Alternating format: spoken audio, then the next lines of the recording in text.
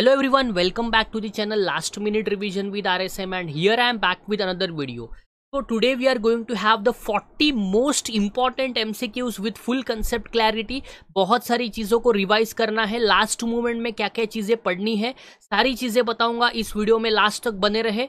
Total 40 M हम discuss करने वाले हैं और ये 40 एम बेसिकली आपके बहुत सारे कंसेप्ट आपके हर चैप्टर में के इंपॉर्टेंट इंपॉर्टेंट कंसेप्ट को ये क्लियर कर लेंगे। तो this video will be helpful for all the T Y com idol students और सब्जेक्ट uh, हमारा रहेगा फाइनेंशियल अकाउंटिंग का। तो बहुत सारी चीज़ों को हम डिस्कस करते हैं। तो पहली बार अगर चैनल पे आए हो तो सब्सक्राइब कर ले बिकॉज़ इसी तरीके से आपको कॉस्टिंग सब्जेक्ट का भी वीडियो मिलने वाला है, जिसमें हम बहुत सारे कॉस्टिंग के भी एमसीक्यूज को डिटेल में डिस्कस करेंगे। तो आइए शुरू करते हैं आज के सेशन को। 40 most important MCQs of financial accounting. Question number one ये रहा आपके सामने। After buyback debt equity ratio should not exceed काफ़ी इंपॉर्टेंट क्वेश्चन है, ध्यान से याद रखना बिकॉज़ इसी तरीके से आपको पेपर में एमसीक्यूज हमेशा पूछे जाते हैं, जो आपके कंसेप्ट के ऊपर रिलेट करेंगे। तो बायबैक के बाद आपका जो डेट इक्विटी रेशियो होता है, वो एक्सीड नहीं होना चाहिए। One is to one one is to two two is to three या टू इज़ टू वन तो after buy back the debt equity ratio should not exceed two is to one. तो two is to one को वो जो debt equity ratio है वो जो है वो एक्सीड नहीं करना चाहिए। डेट इक्विटी रेशियो आपको पता ही होगा, क्या है फॉर्मूला? Debt upon equity. ठीक है, डेट का मतलब क्या होता है? बोरोड फंड्स होता है और इक्विटी का मतलब क्या होता है? शेयर होल्डर फंड्स या उसको हम क्या कहते हैं? प्रोपराइटर फंड्स भी कहते हैं। तो we need to remember the concept very important rules of buyback भी थोड़ा सा रिवाइज करके रखें ताकि यहाँ से भी आपको अगर पेपर में कोई क्वेश्चन बना तो आपको सॉल्व करने में कोई भी प्रॉब्लम्स फेस ना हो। Second question consolidation and sub division of shares result in तो this is from the chapter of internal reconstruction दो कंसेप्ट है काफ़ी इंपॉर्टेंट जो आपको ध्यान रखना है। एक होता है आपका कंसोलिडेशन ठीक है? एक कंसेप्ट का नाम क्या है? कंसोलिडेशन और दूसरा कंसेप्ट का नाम क्या है? सब डिवीज़न ठीक है? अभी कंसोलिडेशन की बात करें तो टेन रुपीज़ का शेयर हम नीचे लेके आएँगे रुपीज़ टू तक लेके आएँगे, ठीक है? और अगर हम सब डिवीज़न की बात करें तो देखो हंड्रेड रुपीज़ का शेयर था हंड्रेड रुपीज़ का शेयर आप क्या कर रहे हो? हंड्रेड रुपीज़ का शेयर आप कम कर रहे हो फाइव तक ला रहे हो, और फिर फाइव रुपीज़ का शेयर फिर से आप क्या कर रहे हो? टेन तक ला रहे हो तो that is the sub division तो सब डिवीज़न ऑफ़ शेयर्स काफ़ी इंपॉर्टेंट कंसोलिडेशन ऑफ़ शेयर्स भी काफ़ी इंपॉर्टेंट अगर दोनों की बात करें तो दोनों का मेन ऑब्जेक्टिव क्या है? Alteration in the share capital तो ये कंसोलिडेशन हो या सब डिविजन ऑफ़ शेयर्स हो that result in what that result in alteration in the share capital next question computer software is shown under the head intangible fixed assets in the balance sheet, tangible fixed assets in the balance sheet, current assets या current liabilities. तो computer software जो है वो कहाँ दिखाया जाता है balance sheet में? It is shown in the head intangible fixed assets in the balance sheet तो intangible fixed assets in the balance sheet में ये शो किया जाता है।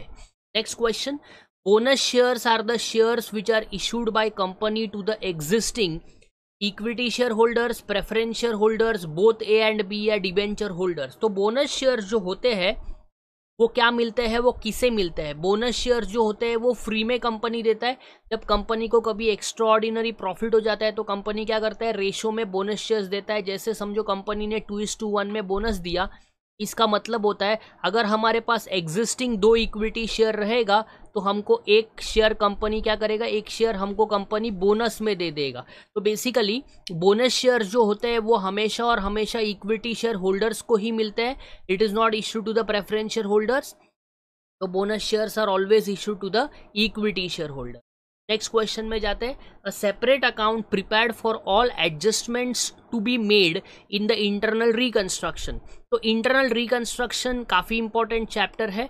तो इस इंटरनल रिकंस्ट्रक्शन में एक सेपरेट अकाउंट हम प्रिपेयर करते हैं। जो भी रिडक्शन की वैल्यू होती है, वो रिडक्शन की वैल्यू हम एक सेपरेट अकाउंट में ट्रांसफ़र कर लेते हैं। Which is the separate account realization account profit and loss account capital reduction account या कैपिटल रिज़र्व अकाउंट तो ध्यान रखना ये जो सेपरेट अकाउंट है, ये प्रिपेयर किया जाता है इंटरनल रिकंस्ट्रक्शन में और इस सेपरेट अकाउंट का नाम क्या है? इस सेपरेट अकाउंट का नाम होता है कैपिटल रिडक्शन अकाउंट ठीक है?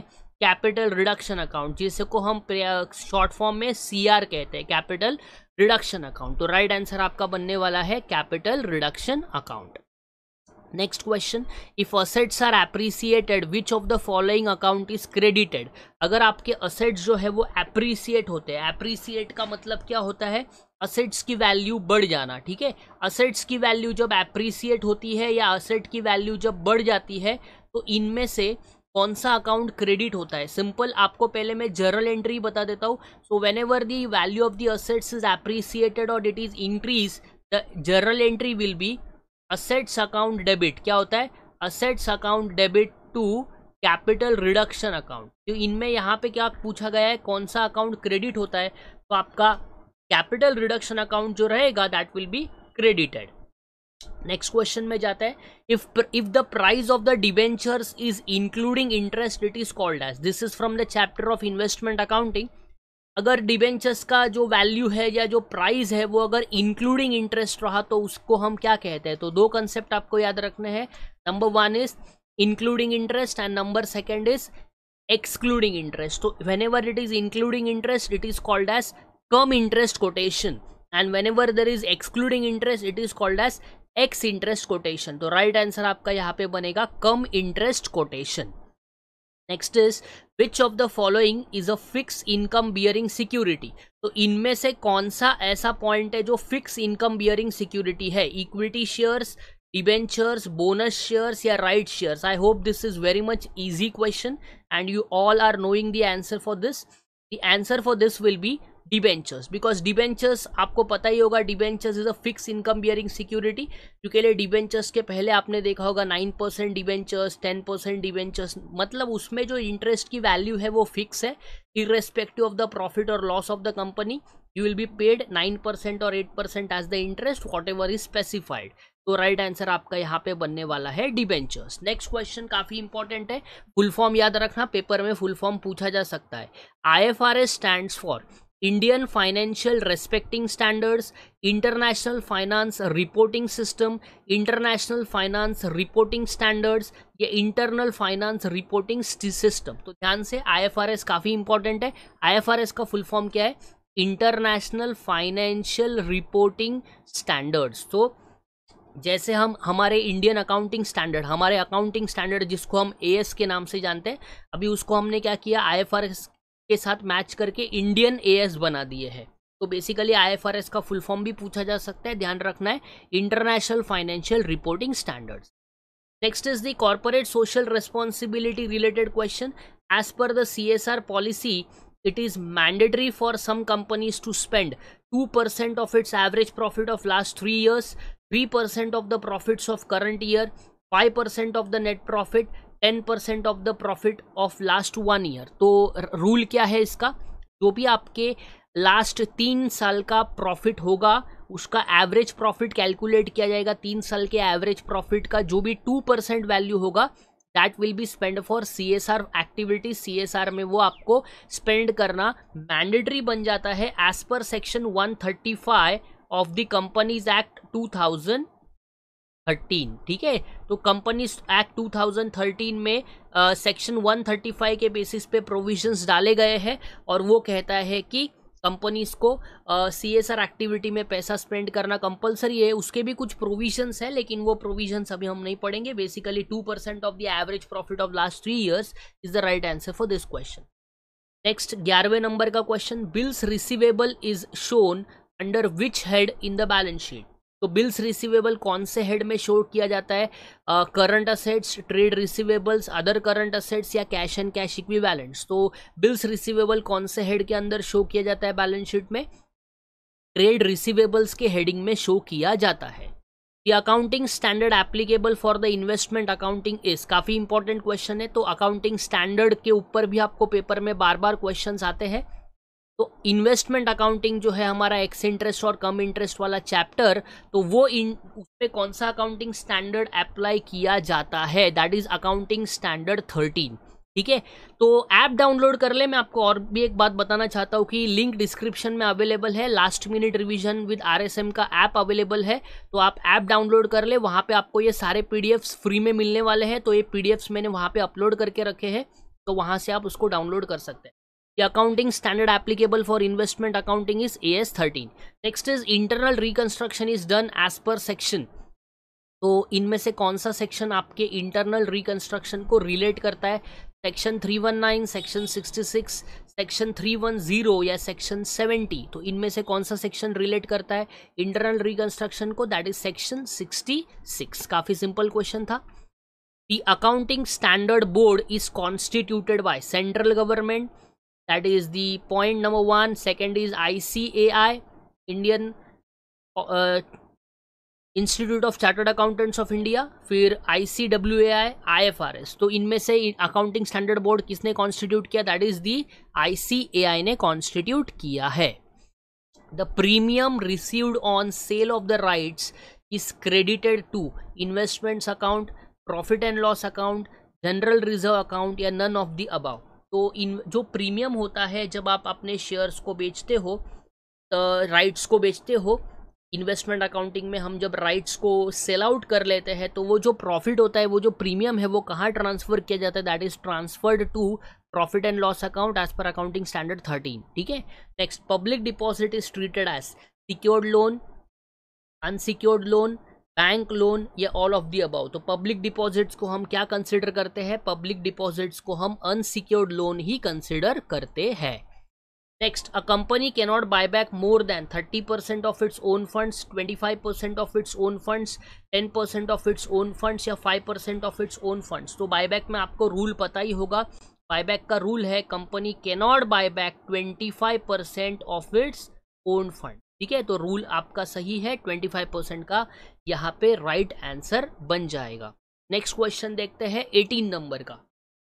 The term ethics is derived from which word Latin word Greek word German word या जैपनीज वर्ड तो जो एथिक्स नाम का वर्ड है, ये कौन से वर्ड से डिराइव्ड हुआ है?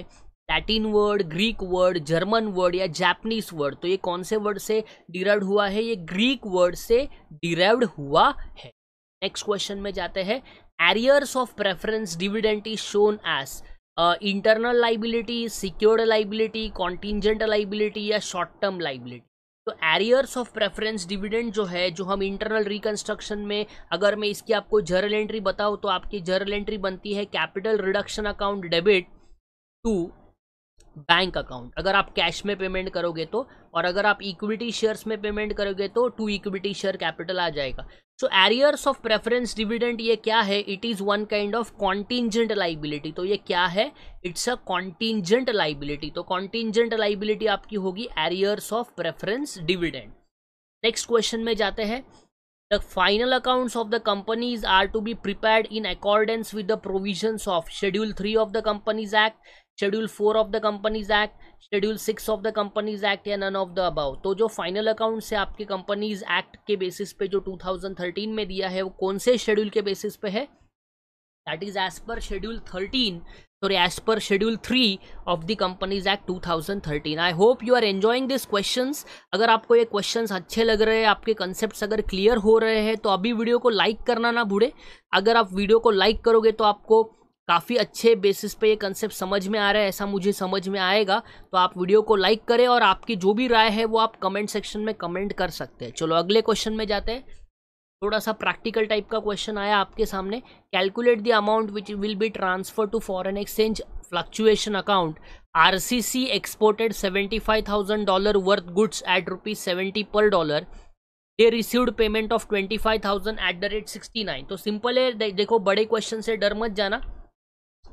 इन्होंने एक्सपोर्ट किया सेवेंटी फाइव थाउज़ेंड डॉलर का गुड्स कौन से रेट में एक्सपोर्ट किया, वो पहले देखो। सेवेंटी के रेट में एक्सपोर्ट किया है। तो जिस रेट में हम एक्सपोर्ट करते हैं, उसको हम बेस रेट कहते हैं। तो your base rate is seventy and आपने जब पैसे आपको मिले, पैसे जब मिले तब रेट कितना बना? सिक्सटी नाइन बना। देखो एक्सपोर्ट किया तो सेवेंटी था रेट बना, अभी सिक्सटी नाइन रेट कम हुआ है। तो सिंपल रूल याद रखना है, मैं आपको रूल ही बता देता हूँ। देखो एक्सपोर्ट में अगर रेट बढ़ता है एक्सपोर्ट में अगर रेट बढ़ता है तो हमें क्या होता है? प्रॉफिट होता है। एक्सपोर्ट में अगर रेट कम होता है तो हमें क्या होता है? लॉस होता है। अगर प्रॉफिट होगा तो कैपिटल रिडक्शन क्या होता है? कैपिटल रिडक्शन हमारा क्रेडिट हो जाएगा। और अगर लॉस होता है तो कैपिटल रिडक्शन क्या होगा? कैपिटल रिडक्शन हमारा डेबिट हो जाएगा। यहाँ पे लॉस है। लॉस है मतलब कैपिटल रिडक्शन डेबिट होने वाला है। लेकिन कैपिटल रिडक्शन के जगह पे यहाँ पे हम क्या लेजर बनाते हैं? यहाँ कैपिटल रिडक्शन हो, जैसे इंटरनल रिकंस्ट्रक्शन में we are using capital reduction बराबर? तो इंटरनल रिकंस्ट्रक्शन में कैपिटल रिडक्शन यूज़ होता है। अगर हम नॉर्मल प्रॉफिट लॉस की बात करें तो वहाँ पे प्रॉफिट एंड लॉस यूज़ होता है। लेकिन इस चैप्टर में जो हमारा एफ़ e का चैप्टर है, जिसको हम प्यार से फॉरन एक्सचेंज फ्लक्चुएशन कहते हैं तो एफ़ e के चैप्टर में आपको सिर्फ़ यहाँ पे एफ़ e डालना है, बाकी कुछ भी नहीं करना है। तो हमारा यहाँ पे लॉस है। लॉस है मतलब एफ़ e क्या होगा? डेबिट होगा तो राइट आंसर आपका ऑप्शन नंबर टू बनने वाला है। That is F account will be debited मैंने यही कंसेप्ट के साथ आपको इंटरनल रिकंस्ट्रक्शन का भी कंसेप्ट रिवाइज करवा दिया है। तो कैपिटल रिडक्शन मैंने उसके बेसिस पे आपको बताया। Next question what will be the journal entry for advance received in export under foreign currency transaction अगर आपको एडवांस मिल रहा है तो whenever we are receiving the advance अगर हमको एडवांस मिल रहा है तो याद रखना है आपको बैंक अकाउंट हमेशा डेबिट होगा, ठीक है? जो याद रखना है whenever we are going to receive advance bank account हमेशा डेबिट होगा। तो आपका क्या बनेगा entry bank account debit to party's account जो भी आपकी पार्टी का नाम रहेगा, उसका नाम आपको क्रेडिट करना है। Next the gross liability is rupees eighty thousand and mark application are twenty thousand then the value of unmark application will be काफ़ी सिंपल क्वेश्चन है। तो आपका ग्रॉस लाइबिलिटी कितना है? Gross liability is eighty thousand the mark application is how much mark application is twenty thousand तो what is will be the answer the answer will be sixty thousand that is your unmark application ठीक है? Unmark application आपका बनेगा। तो sixty thousand यहाँ पे right right answer आ जाएगा। नेक्स्ट क्वेश्चन देखते हैं। Reserve for doubtful debts that is called as R D D is recorded on debit side of realisation credit side of realisation, debit side of equity share holders या credit side of equity share holders this is from the amalgamation तो RDD कहाँ record किया जाता है? Credit side of the realisation because RDD को हम एक liability मानते हैं, लेकिन वो डेटर्स में से यूजुअली लेस हो जाता है। Provision for tax and propose dividend are transferred under which head in the balance sheet तो कौन से हेड का, के अंदर provision for tax and propose dividend balance sheet के अंदर ट्रांसफ़र किया जाता है। Long term borrowings short term borrowings own funds या शॉर्ट टर्म प्रोविजंस तो कौन से फंड्स कौन से बेसिस पे फॉलो किया जाता है?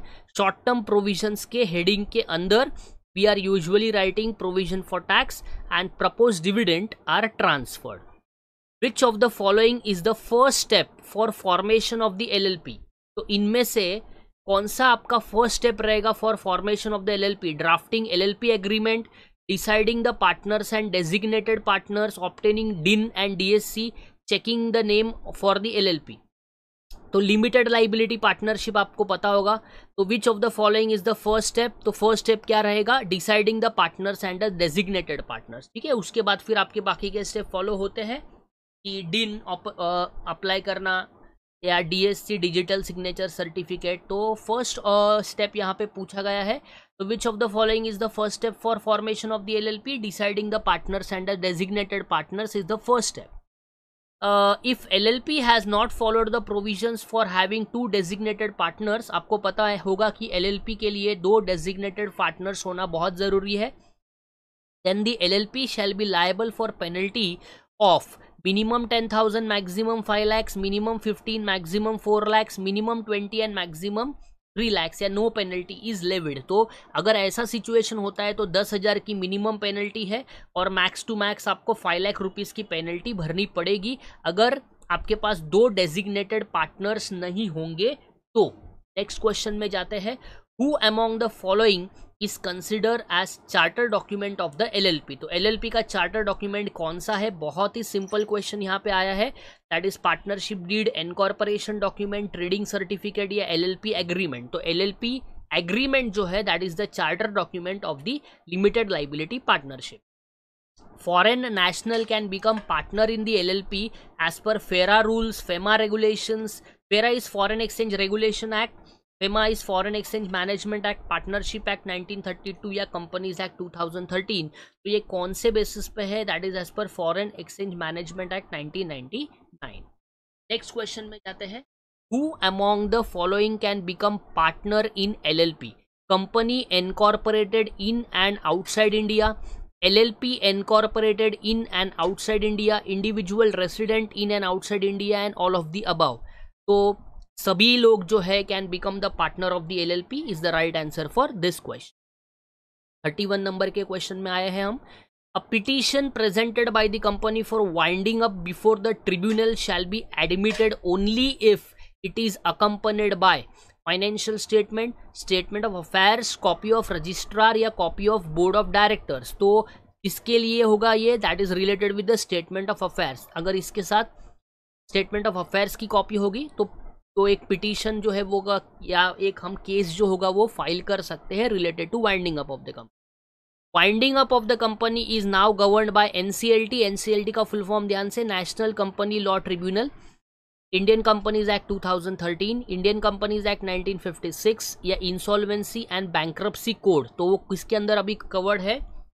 That is covered under IBC ठीक है? IBC 2016 that is insolvency and bankruptcy code 2016 के अंदर अभी कवर होगा winding up of the company next which of the following list belong to unsecured creditors तो इनमें से कौन सा लिस्ट जो है आपका अनसिक्योर्ड क्रेडिटर्स को रिलेट करता है?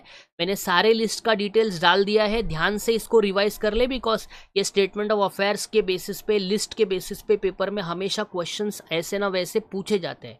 दैट इज़ लिस्ट ई तो these are the various list from A to H A से लेके एच तक सारे लिस्ट यहाँ पे डाले हुए हैं। इसको ध्यान से रिवाइज कर लेना एक। क्वेश्चन नंबर थर्टी फोर में आए हैं हम। Currency other than the reporting currency of an enterprise is non reporting currency non foreign currency foreign currency Indian rupees बहुत ही सिंपल है। That is called as foreign currency next question in case of valuation made on year end of export transactions, the profit or loss on such valuation is transferred to. आपको पता होगा F e में हम क्या करते हैं? F e में जब हम थर्टी फ़र्स्ट मार्च आता है तो जो भी हमारी पेंडिंग इंस्टॉलमेंट है आफ्टर थर्टी फ़र्स्ट मार्च उसका हम क्या करते हैं? वैल्यूएशन करते हैं। ठीक है? और वैल्यूएशन का एक बेसिक चीज़ समझ लो वैल्यूएशन की जो भी जर्नल एंट्री करती है, हम लोग उसमें बैंक अकाउंट कभी भी नहीं आता है। तो वैल्यूएशन में अगर प्रॉफिट दिखा आपको अगर वैल्यूएशन में प्रॉफिट दिखा तो एफईएफ अकाउंट क्रेडिट हो जाएगा। और अगर वैल्यूएशन में लॉस आया तो एफईएफ अकाउंट क्या होगा? एफईएफ अकाउंट आपका डेबिट हो जाएगा। तो यहाँ पे क्या बोल रहा है?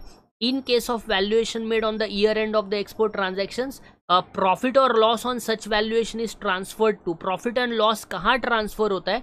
तो प्रॉफिट एंड लॉस जो होता है, वो ट्रांसफ़र होता है फॉरेन एक्सचेंज फ्लक्चुएशन अभी तो मैंने आपको बताया एफईएफ में ट्रांसफ़र होता है। Next from the part related with the mark and unmark applications तो अंडर राइटिंग में से क्वेश्चन है।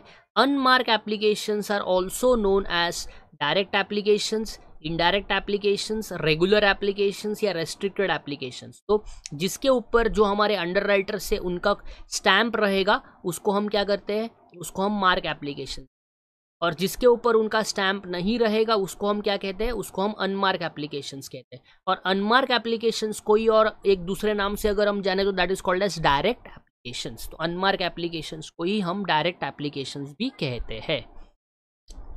Which of the following is oblique are examples of accumulated losses profit and loss debit balance is it an accumulated loss or uh, miscellaneous expense yes it is preliminary yes it is discount on issue of debentures yes it is तो right answer आपका बनेगा all of the above will be the right answer for this question question number 38 the maximum number of partners required for formation of the llp is 7 50 200 या no limit तो maximum कितने हैं maximum no limit है LLP में minimum कितने हैं LLP की अगर बात करें तो मिनिमम दो लोग लगेंगे और मैक्सिमम की अगर बात करें तो मैक्सिमम कितने हैं? मैक्सिमम लिमिट नहीं है, नो लिमिट, कितने भी पार्टनर्स एलएलपी में हो सकते हैं।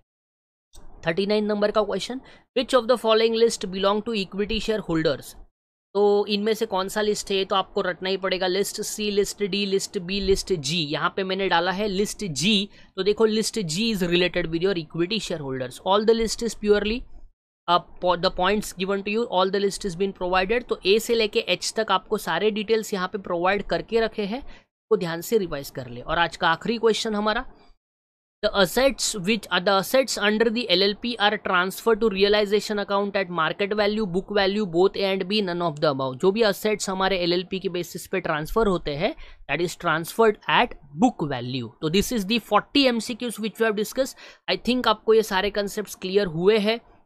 आपका बहुत बढ़िया तरीके से रिवीजन हुआ है। अगर आपको ये वीडियो अच्छा लगा है तो लाइक करें, अपने फ्रेंड्स में इसको शेयर करें, ताकि उनको भी इसका बेनिफिट मिले। टेलीग्राम चैनल ज्वाइन कर ले last minute revision with RSM और ऐप डाउनलोड कर ले। सबका लिंक आपको डिस्क्रिप्शन में मिल जाएगा। और अगर आप कॉस्टिंग का इसी तरीके से 40 एम का सीरीज़ चाहते हैं तो मुझे आप कमेंट सेक्शन में कमेंट करके बताएँ, ताकि मैं आपको उस तरीके के कॉस्टिंग के भी एम प्रोवाइड करूँ। Thank you all of you bye bye take care then as always work harder be smarter